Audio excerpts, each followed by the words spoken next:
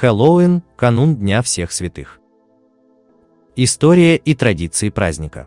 В ночь с 31 октября на 1 ноября празднуется канун Дня всех святых – Хэллоуин. Праздник, уходящий своими корнями в глубину веков и традициям древних кельтов.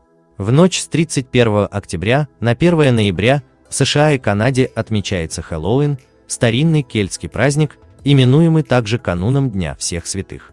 В последнее время праздник стал популярным также в Европе и России. Корни праздника уходят во времена дохристианской эпохи.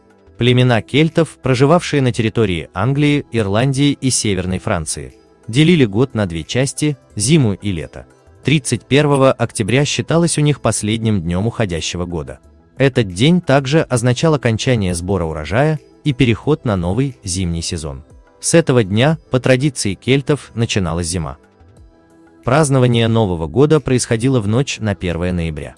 В эту ночь, по древнему поверью кельтов, миры живых и мертвых открывали свои двери, и обитатели потустороннего мира пробирались на землю.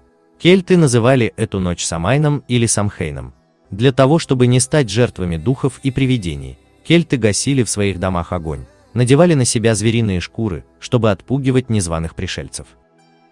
На улице возле домов оставлялись угощения для духов, а сам народ собирался у костров, разводимых жрецами-друидами, и приносил в жертву животных. После жертвоприношения люди брали священный огонь, чтобы внести его к себе в дом. Символом праздника была тыква. Она не только означала окончание лета и сбора урожая, но и отпугивала злых духов священным огнем, который зажигался внутри нее. С наибольшим размахом Хэллоуин отмечается в США и Канаде, где он наиболее популярен. В XIX веке огромное число ирландцев эмигрировало в Новый Свет, принеся с собой традиции Хэллоуина. В США Хэллоуин – праздник, когда продается больше всего конфет, и второй после Рождества – праздник по общему обороту предпраздничных продаж. У него даже есть свои столицы – Лос-Анджелес и Нью-Йорк, где в этот день проходят наиболее яркие и красочные гуляния и карнавалы. Атрибуты американского Хэллоуина фонарик из тыквы Джек Оу Лэнтонс и попрошайничество сладостей, трик ор трек.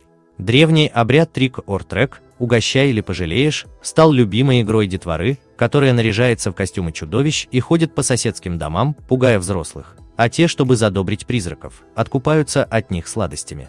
Несмотря на то, что американцы отмечают Хэллоуин более двух веков, праздник не является официальным.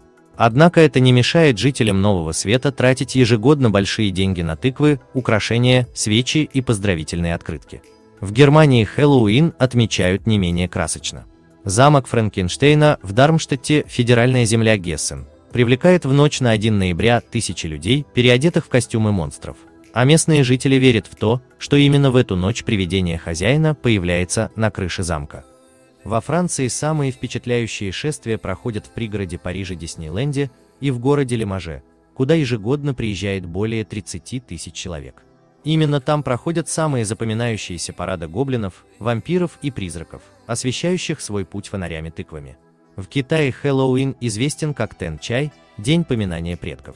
В этот день перед фотографиями умерших родственников китайцы ставят еду и воду, а также фонарь, освещающий путь душам предков, путешествующих в ночь Хэллоуина. Если вам понравилось, обязательно поставьте лайк и подпишитесь на наш канал. Всем спасибо за просмотр.